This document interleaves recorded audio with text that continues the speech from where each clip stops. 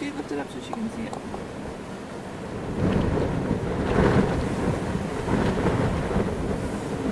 it.